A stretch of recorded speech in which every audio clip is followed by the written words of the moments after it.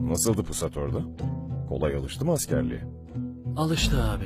Ama Aması ne Yasin? bu ofiste olması gerektiğini söylemiş abi. Sizin babasıyla hukukunuzdan dolayı e, bu mekanda onun da hakkı olduğunu filan anlatmış. Öyle mi demiş?